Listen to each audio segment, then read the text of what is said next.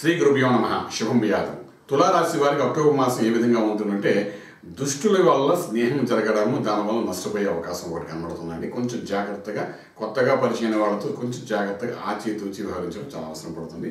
రెండవది మనస్తాపం దేనివల్ల మనస్తాపం అవుతుందని చెప్పకుండా మనస్తాపం అయితే ఉంటుంది. శనీశ్వరుడు యొక్క ప్రభావం కొంతవరకు తులారాశి మీద ఉంటుంది కాబట్టి వెళ్తూ వెళ్తూ వచ్చే నెలలో బయటికి వెళ్ళే అవకాశం ఉంది. నవంబర్ ఎయిటీన్త్ కల్లా ఈ లోపల కొంత మనస్తాపం కొన్ని నిర్ణయాలు స్పాంటేనియస్గా తీసుకుని షార్ట్ టెంపర్తో తీసుకునే నిర్ణయం వల్ల కొంత నష్టాలు జరిగే అవకాశం ఉంది కాబట్టి కొంచెం జాగ్రత్త ఉండవలసిన అవసరం పడుతుంది. శరీర బాధ శరీరంలో ఎగ్జిట్ పార్ట్ ఆఫ్ బాడీ అంటే బొడ్డు కింద భాగంలో కొన్ని రుగ్మతలు వచ్చే అవకాశం ఉంటుంది. దాన్ని కొంచెం డాక్టర్ ద్వారా పరిశీలించుకుని జాగ్రత్తగా దాన్ని నిర్మూలన చేసుకోవడానికి ప్రయత్నం చేయండి. తర్వాత ఇంకొక నాలుగో విషయం కీర్తి కూడా కొంత హాని కలిగే అవకాశం తొలి తులారాశి వారికి బాగా కనిపిస్తుంది. ఎప్పుడో చేసిన కొన్ని సంఘటనలు కాబట్టి బలహీనపడే అవకాశం ఉంటుంది కాబట్టి అది కూడా కొంచెం జాగ్రత్త తీసుకోవాల్సిన అవసరం పడుతుంది. తర్వాత అసంతృప్తిగా జీవన విధానం అంతా నెల రోజులు కనబడుతుంది. ఎప్పుడో చేసిన కొన్ని సంఘటనలు ఈరోజు బయటపడడం దాని మనోవేదన తీసుకునే అవకాశం కనబడుతుంది.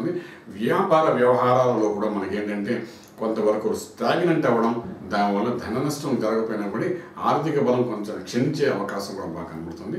విద్యార్థుల విషయానికి వచ్చినప్పుడు తీసుకుంటున్న నిర్ణయాలలో వాళ్ళు ఆన్సర్స్ అనేది కరెక్ట్గా లేకపోవడం దానివల్ల మార్పులు బలహీనపడడం వల్ల మనోవేదన పొందే అవకాశం వీళ్ళు బాగా కనిపిస్తుందండి. ఇది కాకుండా మనం చేసే వ్యాపార స్టీరింగ్ స్టీల్ సిమెంట్ ఐరన్ తర్వాత షేర్స్ బిజినెస్ చేసే వాళ్ళకి తర్వాత ట్రేడింగ్ చేసే వాళ్ళకి తర్వాత స్క్రాప్ బిజినెస్ ఆయిల్ ఇండస్ట్రీస్ తర్వాత ఆటోమొబైల్ ఇండస్ట్రీస్ చేసుకునే వాళ్ళకి మాత్రం ఒక పది శాతం లాభదాయకంగానే ఉండే అవకాశం బాగా కనిపిస్తుంది.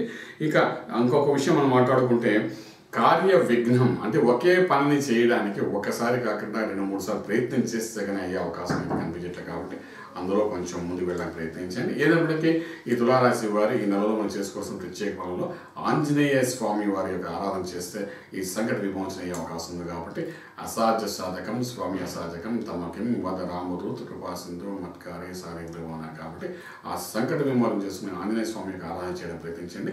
రాజమార్గంలో రాజయోగం పొందగలుగుతారు. శుభం వ్యాధి